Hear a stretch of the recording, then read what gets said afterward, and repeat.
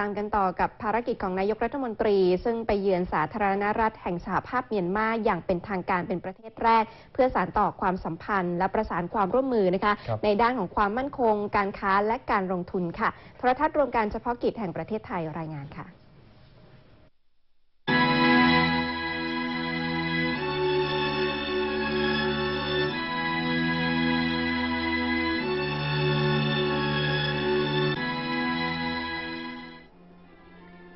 พลเอกประยุทธ์จันโอชา นายกรัฐมนตรีพร้อมภริยาและคณะ เดินทางเยือนสาธารณรัฐแห่งสหภาพเมียนมา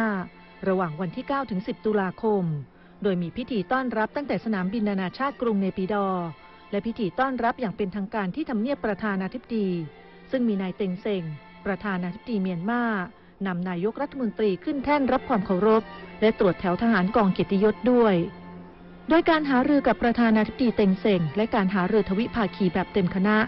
นอกจากการกระชับความสัมพันธ์ และประสานความร่วมมือด้านต่างๆ แล้ว นายกรัฐมนตรียังแสดงความขอบคุณเมียนมาที่เข้าใจสถานการณ์และยืนเคียงข้างประเทศไทย ซึ่งไทยพร้อมสนับสนุนการปฏิรูป และการพัฒนาประเทศเมียนมาเช่นกัน นอกจากนี้ยังหารือขยายความร่วมมือในฐานะหุ้นส่วนเพื่อความมั่นคงและการพัฒนา ด้วยการจัดระเบียบและพัฒนาพื้นที่ชายแดนอย่างครบวงจร เพื่อแก้ปัญหาข้ามพรมแดน เช่นปัญหายาเสพติด ที่ไทยถือเป็นวาระแห่งชาติ และเมียนมาพร้อมให้ความร่วมมืออย่างเต็มที่ ปัญหาแรงงานที่จะจัดระเบียบให้มีประสิทธิภาพ ลดขั้นตอนและค่าใช้จ่าย การแก้ปัญหาแรงงานผิดกฎหมายและการค้ามนุษย์ รวมถึงการพัฒนาเขตเศรษฐกิจตามแนวชายแดน เพื่อเชื่อมโยงการค้าการลงทุนและสร้างงานในพื้นที่ โดยใช้อำเภอแม่สอดเป็นพื้นที่นำร่องส่วนโครงการพัฒนาเขตเศรษฐกิจพิเศษทวาย ทั้งสองประเทศพร้อมผลักดันให้เกิดเป็นรูปธรรมอย่างต่อเนื่อง หลังคัดเลือกบริษัทเข้าไปลงทุนในระยะแรกแล้ว โดยนายกรัฐมนตรีได้หารือเพื่อเพิ่มช่องทางให้กับภาคเอกชนไทย มีส่วนในการลงทุนเพื่อพัฒนาสาธารณูปโภคพื้นฐาน และเส้นทางคมนาคมรองรับโครงการในระยะต่อไปสำหรับด้านพลังงานมีการเสนอให้จัดทำ MOU เพื่อยกระดับความร่วมมือ ครอบคลุมการซื้อขายไฟฟ้า การพัฒนาโครงสร้างพื้นฐานด้านไฟฟ้า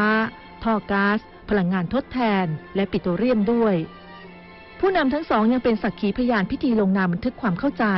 ว่าด้วยการสถาปนาความสัมพันธ์เมืองพี่เมืองน้องสามจุด คือเชียงใหม่กับเชียงตุง ประจวบคีรีขันธ์กับมริดและระนองกับเกาะสองจากนั้นประธานาธิบดีเมียนมาเป็นเจ้าภาพเลี้ยงอาหารค่ำเพื่อเป็นเกียรติแก่นายกรัฐมนตรีและคณะ ก่อนที่นายกรัฐมนตรีจะไปสักการะพระเจดีย์อุปตะสันติ ที่จำลองแบบมาจากพระมหาเจดีย์ชเวดากองเมืองย่างกุ้ง สัญลักษณ์คู่บ้านคู่เมืองของชาวเมียนมาต่อไป โทรทัศน์รวมการเฉพาะกิจแห่งประเทศไทย รายงาน